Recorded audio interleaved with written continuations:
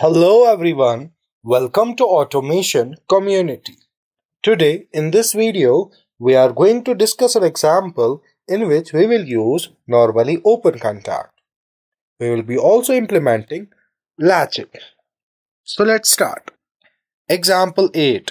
If switch 1 is on, then motor 1, motor 2, motor 3 and motor 4 will be on. If switch 1 is off, then motor 1, motor 2, motor 3 and motor 4 will be still on. So in this example, we have one input that is switch 1. When it is turned on, all the four motors turn on. And when switch 1 is turned off, all the four motors should have been turned off but it remain on. So to attain to, uh, to, for motors to be on, we will be using latching. So we will be also using a memory bit that will be used to turn on motors and let's move to TIA portal where we will draw a ladder diagram and implement latching. So this is the interface of TIA portal. Let's go to PLC tags here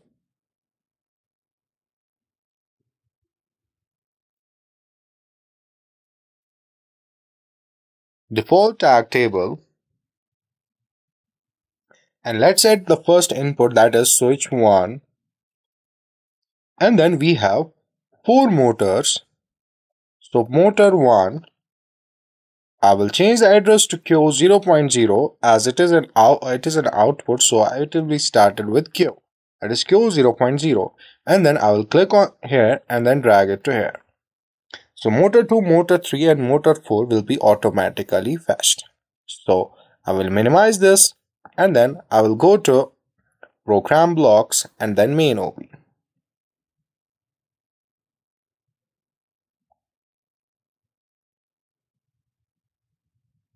So here we will be drawing ladder diagram. So for switch 1, I will insert a normally open contact here and then I will insert a coil. So this normally open contact will be switch 1 and then this coil will be a memory bit.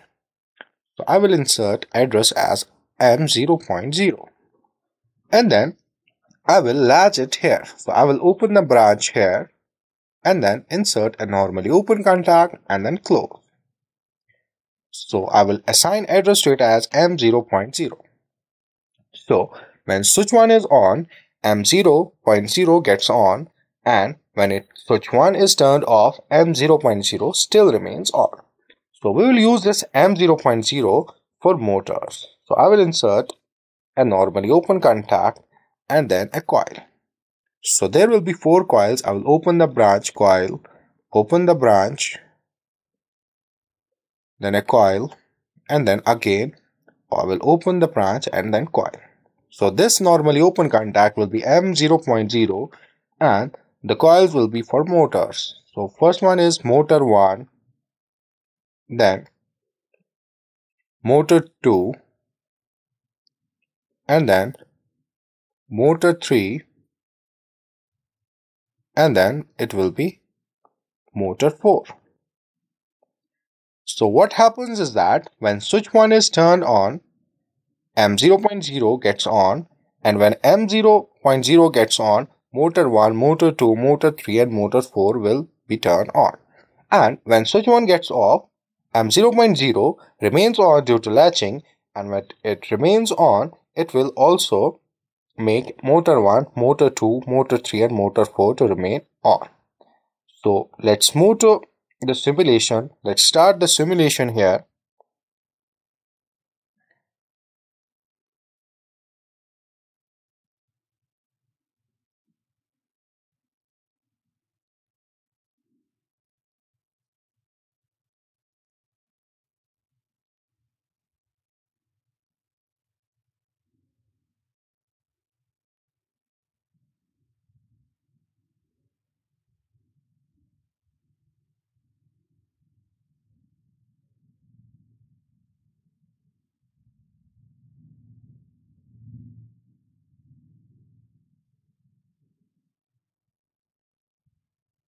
After that, I will start CPU then OK.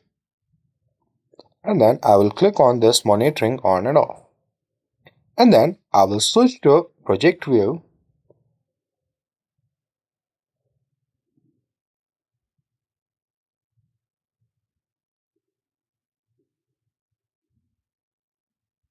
Let's create a new project.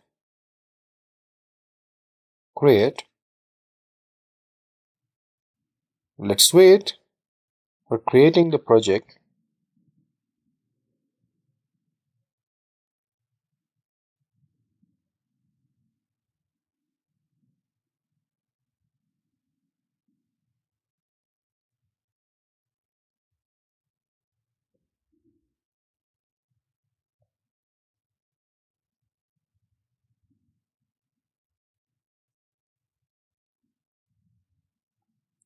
Let's click here.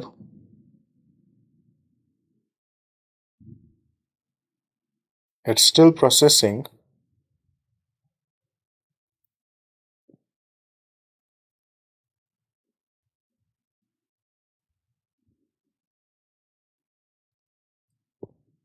Let's click here and then click on simulation table and click on simulation table 1.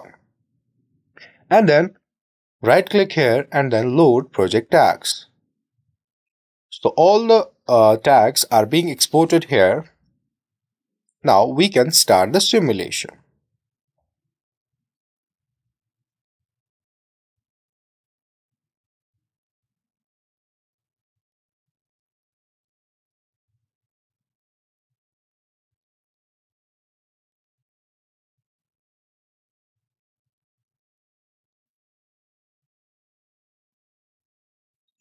So when I turn on switch 1,